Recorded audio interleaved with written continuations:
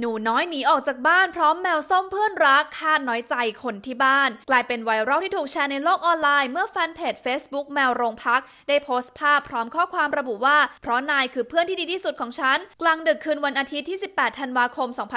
2565 ห้องวิทยุโรงพักบางนาได้รับแจ้งเหตุจากพลเมืองดีว่า พบเห็นเด็กชายหนีออกจากบ้านจึงรีบเข้าไปตรวจสอบ เบื้องต้นน้องออกมาพร้อมกับแมวส้มขาวตัวหนึ่งจากการสอบถามทราบว่าน้องอายุ 9 ขวบ ทางบ้านมีปัญหานิดหน่อยเลยตัดสินใจพาาแมวเพื่อนรักออกมาจากบ้านด้วย ซึ่งจริงๆ แล้วค่ะน้องมีแมว 2 ตัว แต่ว่าเอามาไม่ไหวอ้วนเกินก็เลยเลือกมาแค่ตัวเดียวค่ะ ต่อมาเพจ Facebook ดังกล่าวอัปเดตระบุว่าพี่ๆเจ้าหน้าที่ติดต่อทางคุณยายของน้อง และได้มารับตัวน้องกับแมวไปอยู่ที่บ้านของคุณยายเรียบร้อยแล้ว เมื่อหันหน้าไปหาใครไม่ได้ เด็กคนนึงก็เลยเลือกที่จะมีแมวเข้ามาดูแลความรู้สึกตรงนี้ และเชื่อว่าความรักของน้องกับแมวน้อง คือความรักที่บริสุทธิ์ที่สุด ที่เราเคยพบเห็นผ่านมาเลยก็ว่าได้ ขอบคุณเจ้าเหมียวที่ดูแลความรู้สึกของน้อง ขอบคุณพลเมืองดีที่ไม่นิ่งเฉย ขอบคุณพี่ๆเจ้าหน้าที่ที่ประสานงานให้ผ่านไปได้ด้วยดี และขอบคุณคุณยายที่มารับน้องกลับบ้านนะครับ และขอเป็นกำลังใจให้น้องแมวและคนในบ้านด้วยครับ